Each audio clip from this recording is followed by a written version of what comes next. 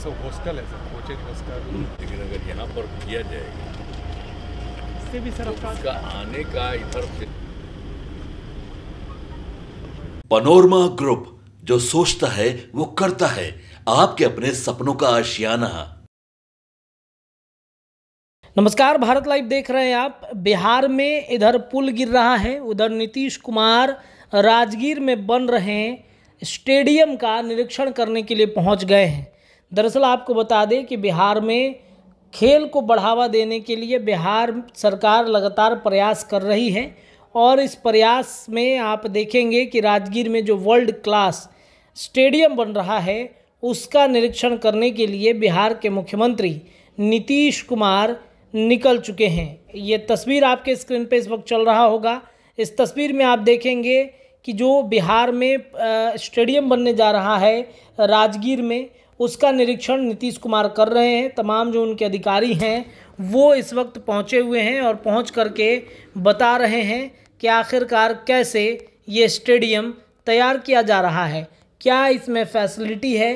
कितने दर्शक इसमें बैठ सकेंगे? और इसके लिए नीतीश कुमार राजकीय खेल अकादमी बनकर लगभग तैयार हुआ है और नीतीश कुमार निर्माणाधीन राजगीर स्टेडियम का जायजा ले रहे हैं। बिहार सरकार के मुख्यमंत्री नीतीश कुमार राजगीर खेल परिसर का निरीक्षण करने निकले हैं। सीएम नीतीश के साथ कई अधिकारी भी मौजूद हैं।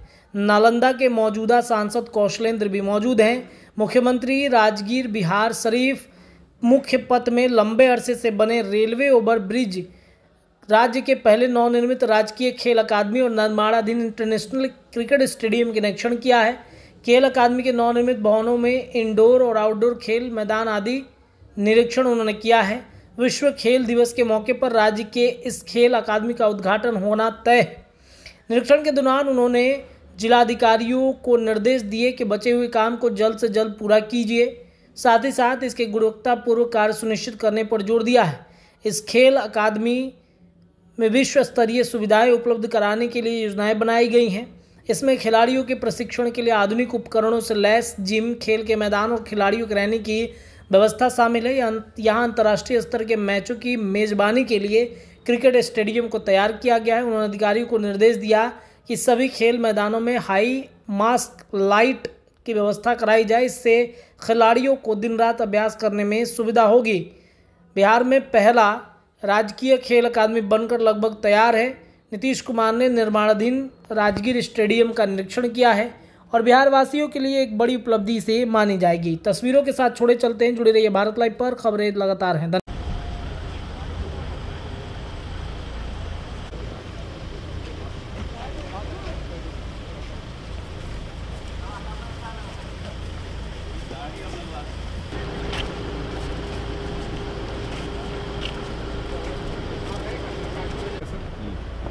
आयोजन होगा सर और वो फुटबॉल का ग्राउंड हो गया सर और वो सब हॉस्टल है सर कोचिंग हॉस्टल। लेकिन अगर यहाँ पर किया जाएगा इससे भी सर तो उसका आने का इधर से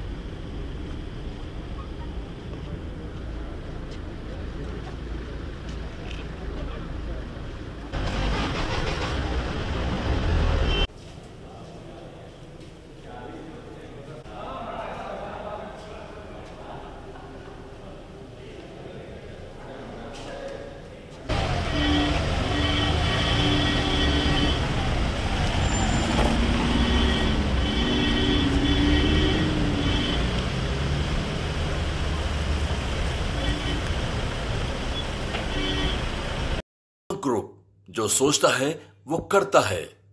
अगर ये वीडियो पसंद आई और वह बिहार के राजनीति और बिहारियत से सरोकार रखेनी तो सब्सक्राइब बटन दबा के चैनल के सब्सक्राइब कर ली। ओजे एगो घंटी बा। ओकरा बटन दबा देला से कुल सटीक और मारक खबर रुआ मुफ़्त में मिल जाई। अगर रुआ पत्रकारिता के हमनी के नया प्रयोग में सहयोग कर चाहतानी तो ज्वाइन बटन दबा दी।